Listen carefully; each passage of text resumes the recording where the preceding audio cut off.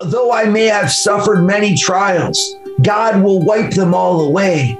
He makes all things new, and He's made me new, and there is no condemnation for him who is in Christ Jesus our Lord. And in fact, the Holy Spirit takes those, it makes us run and not grow weary and walk without go, being faint. Guys, do you believe this? Or have you accepted the old age of your spirit as a kind of prison of your past so that my present is out of my control because my past was lost by whatever it was? If someone else has come into your life and taken you in a course, down a course where you feel like you are not who you are, welcome to redemption. Jesus Christ wants to come into your life to plunge you into the Trinity, to plunge you into newness there is hope in Christ Jesus, who says to you, Though your path be like scarlet, I will make it as white as snow.